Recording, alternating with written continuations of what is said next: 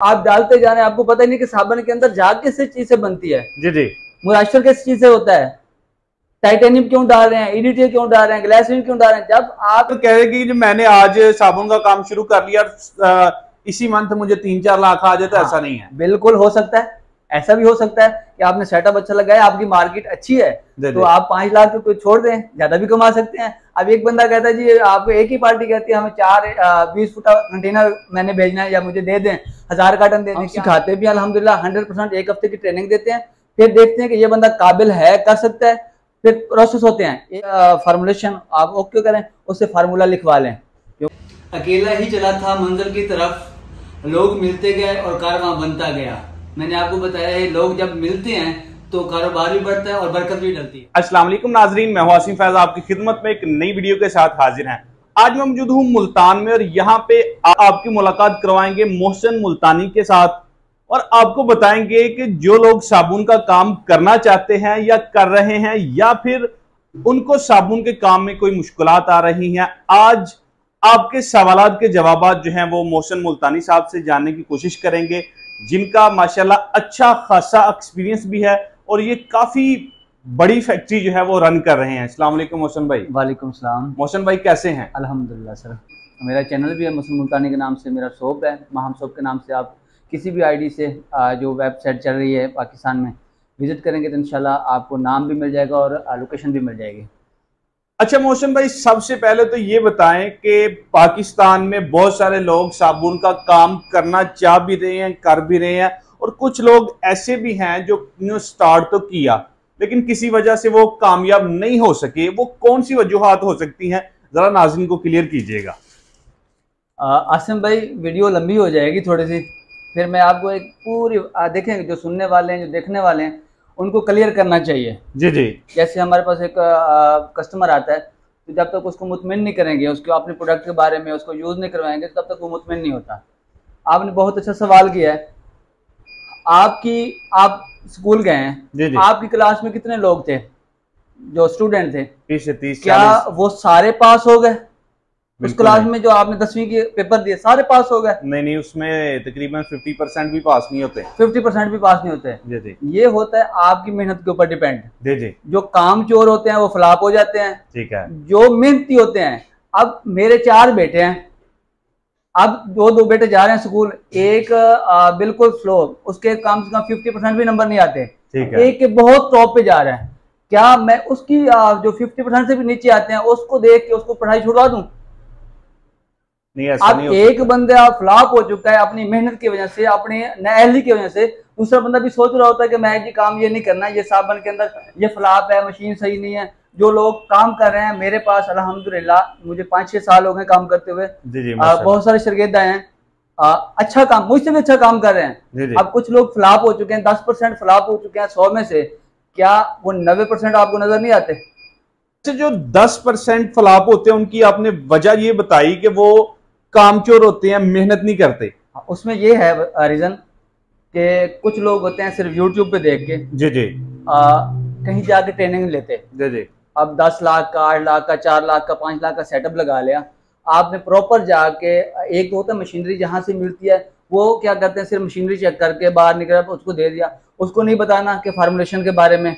आप सालन बना रहे हैं ना, नमक अपना काम करता है, घी अपना काम करता है, हर जो भी उसके अंदर फार्मूलेशन है, वो अपना अपना काम करती है। आप पता ही नहीं है कि नमक क्या करता है, घी क्या करता है, पानी क्या करता है। आप डालते जा रहे हैं, आपको पता ही नहीं कि साबन के अंदर झाग किस चीज़ से बनती है। जी जी।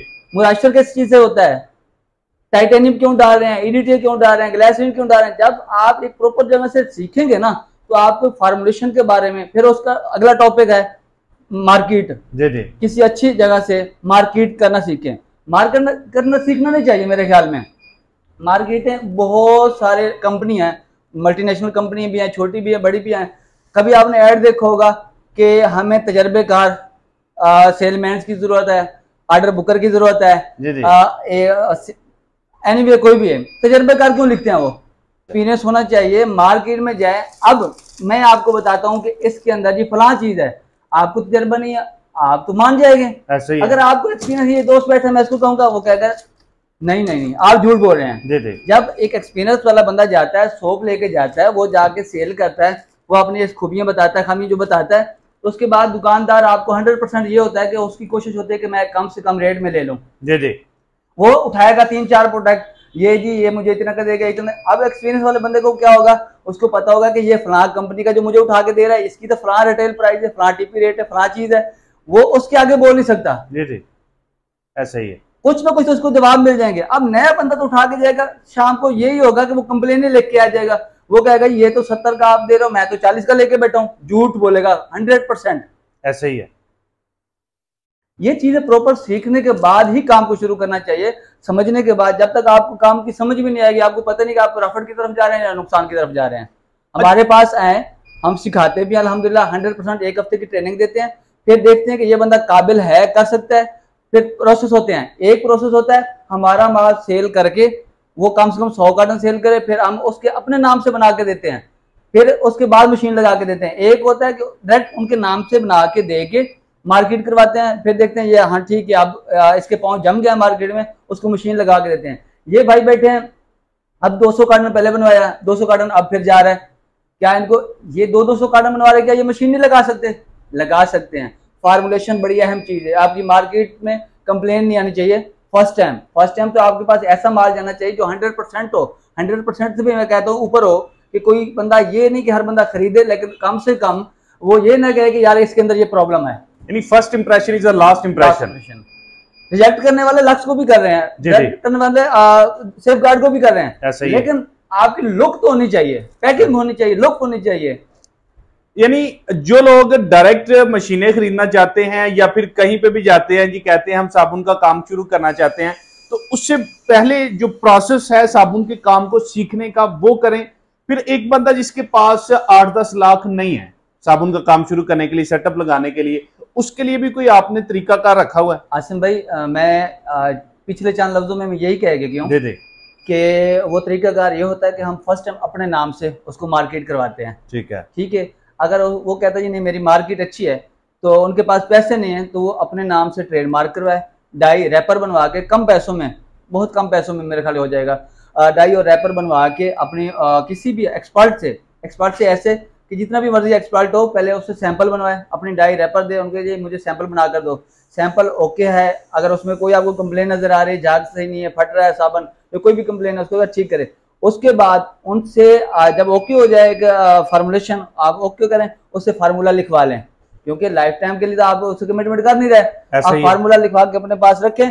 फिर आप सर्च करें कि क्या बंदा ये 120 ग्राम का 110 ग्राम का जितने ग्राम की डाई भी हो होगी ये रेट ठीक दे रहा है कि नहीं दे रहा? आप और जगह पे विज़िट करें। एतमाद करना चाहिए मैं नहीं कहता कि जिससे आपने फॉर्मुलेशन ली ठीक किया साबन लेकिन उसको आप छोड़ दें। लेकिन एक थोड़ी सी वर्किंग तो करें आप।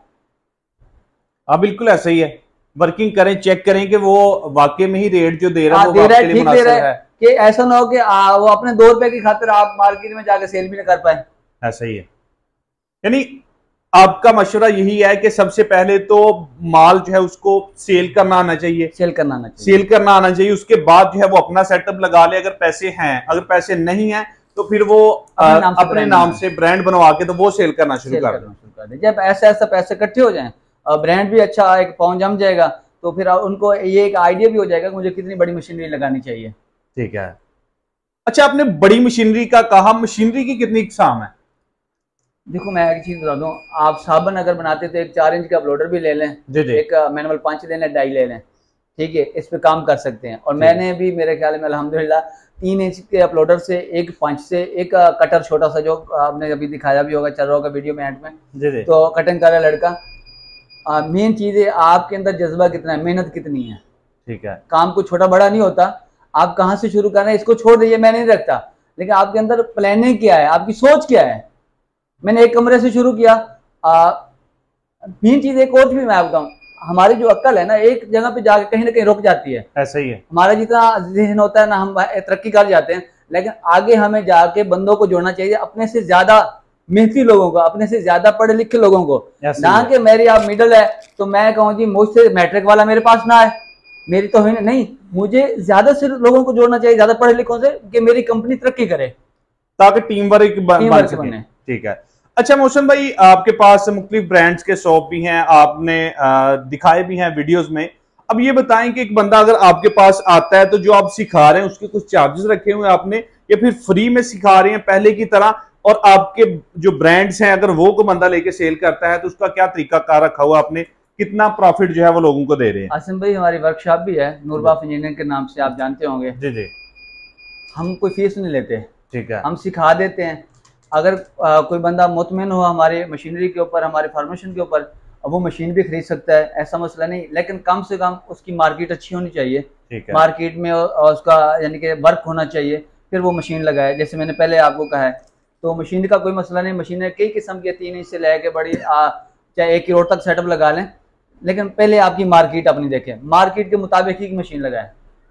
क्योंकि मार्केट के मुताबिक जो है वो मशीन लगा मशीन लगानी चाहिए। अच्छा मैं ये पूछ रहा था कि आपने जो अपने नाम के जो ब्रांड्स आप चला रहे हैं जी जी। वो अगर को बंदा लेके सेल करता है तो क्या उसकी मार्केट ही बनेगी या फिर उसकी पॉकेट में भी कुछ आएगा? दो प्रॉफिट होते हैं। जी जी। एक जाता है जेब में एक बनती है पहचान। जी। अगर सिर्फ़ करेगा कि पॉकेट का ख्याल तो जैसा मर्ज़ी बना के ले जाए लोग दो नंबर सोप भी सेल कर जाते हैं लेकिन फिर वहाँ पे जाते नहीं है। ठीक है। आप सोप ऐसा तैयार करें जो आपकी जेब में भी कुछ आए लेकिन आपकी पहचान भी बने। ठीक है। पहचान बनेगी तो जैसे आप और हम बैठे हैं। जी जी। अगर सिर्फ़ पॉकेट होगी तो फिर भागते रहेंगे। पॉकेट तो बनती रहेगी क्योंकि रोजी का आपने वादा किया है वो तो देनी ही देनी है।